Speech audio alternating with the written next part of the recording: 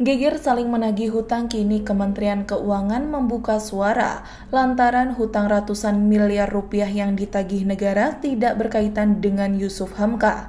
Nyatanya hutang itu bersumber dari tiga perusahaan Siti Hardijanti Rukmana alias Tutut Soeharto. Ketiga perusahaan yang dimaksud yakni PT Citra Mataram Satria Marga, PT Marga Nurindo Bakti, dan PT Citra Bakti Marga Tama Persada. Nama Tutut memang masuk dalam daftar pengutang bantuan likuiditas Bank Indonesia atau BLBI. Sebelumnya, Dirjen Kekayaan Negara Kemenko Reonal Silaban mengungkapkan adanya utang ratusan miliar dari grup Citra ke negara. Nama PT CMNP yang dimiliki Yusuf Hamka pun ikut terseret.